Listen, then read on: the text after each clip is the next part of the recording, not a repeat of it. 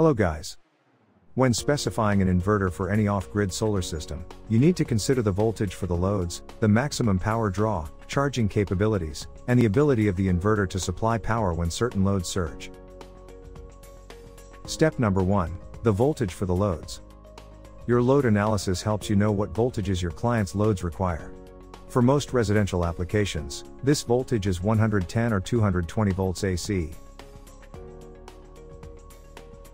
which is the voltage required by AC household loads. Step number 2 The maximum power draw. Inverters don't care about energy consumption. They are simply concerned with delivering voltage and current to loads. How long those loads run doesn't concern them. Off-grid inverters are always rated at their continuous power output value. Which means you need to make sure that the inverters you select can provide the amount of power required by your client's loads. You need to estimate which of the loads will be running at the same time and then add up those power values to determine the minimum power rating for the inverter. Consider future loads that may require power so that the inverter installed today can handle growth in the next few years. Step number 3 Charging capabilities from an AC source. When connected to an AC power source, such as a generator or a utility, an inverter stops turning DC into AC and becomes a battery charger, taking the AC source and recharging the batteries for you.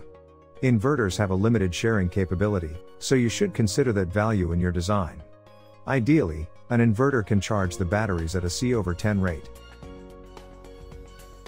Step number 4 The ability of the inverter to supply power when certain loads surge. Any load with a motor, such as refrigerators, washing machines,